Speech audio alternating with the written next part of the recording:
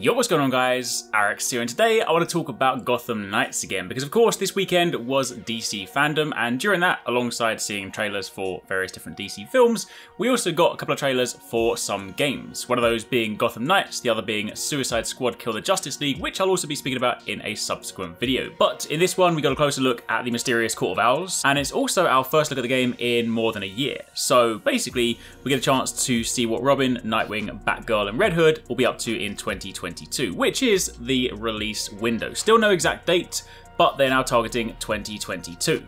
The preview itself showed a brief look at the game where Nightwing, Robin, Batgirl, and Red Hood are captured by the Court of Owls, and after a short cinematic trailer, there was a special sort of behind the scenes preview that gave fans a look at the history of the Court of Owls, and let the creators and the developers behind the game explain the society's history in Gotham City and how it's going to fit into the new game. And we'll speak about that in just a moment. But before that, as a quick recap, if you guys have maybe not necessarily seen much on this, or you're wondering what exactly is Gotham Knights, then I got you covered. Of course, if you do enjoy this, a like would be super appreciated. Comment down below, let me know if you guys are looking forward to this, let me know what you think of it, and be sure to subscribe so you don't miss our future videos. But top level, Gotham Knights is the next game in the Batman universe. It's been developed by Warner Brothers Games Montreal, and while it is in the Batman universe, it does not actually star Batman. Instead, as mentioned, he'll be suiting up as Batgirl, Nightwing, Red Hood, and Robin after Bruce Wayne has allegedly died in a Batcave explosion. It's now up to the rest of the Bat family to handle the troubled Gotham City following his demise. Of course, the developers have previously worked on Arkham Origins in 2013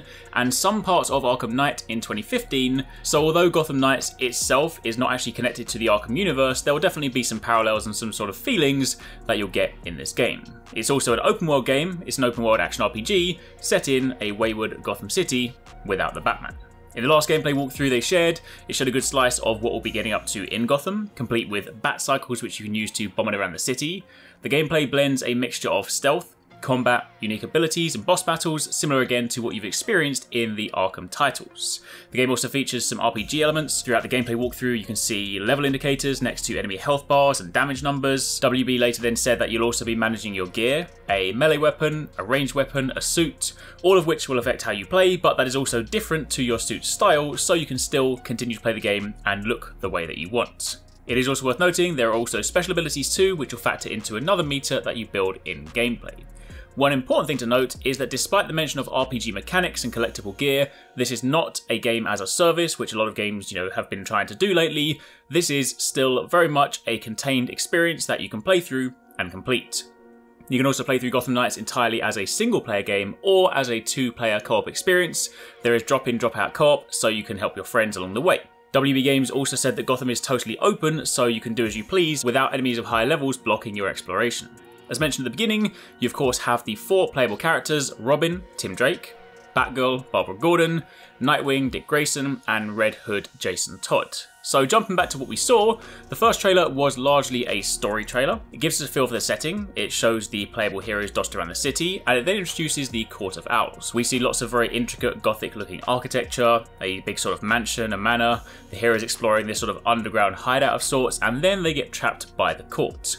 We then get to see some of the enemy types, the Talons. You have the fast-paced style crawlers, the sort of big melee types, and even the big bruisers with a shield and a mace. This is then shown in some of the behind the scenes video. We get to see the manor, guards patrolling the area. The team then talk about how this is a story they've always wanted to explore.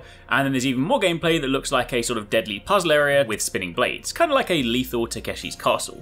Honestly, I'm really interested in this one. I can't wait to sort of see where it goes. I will say, I kind of wish it was four player co-op because of course, given the fact there are four different characters, when I first saw this, I just instantly assumed four player co-op. But it might well be down to them trying to sort of maintain that tight feel to combat and maybe not necessarily having it be like a big hack and slash fest on screen. Either way, that's how it is. But that's currently what we have. So again, not a great deal right now, but factoring in that we are targeting 2022, I imagine in the new year we will hear and see more. So for the time being, that's what we have on Gotham Knights. Hope you guys enjoyed the video. If you have any questions, let me know in the comments down below and let me know what you would like to see in this game. Thanks very much for watching. I hope you guys enjoyed the video. If you want to catch more from us, don't forget to subscribe and turn on notifications so you don't miss our latest uploads. And if you want somewhere to hang out, play games, or chat all things from games to anime, food to fitness, consider joining the Arekkz Gaming Discord.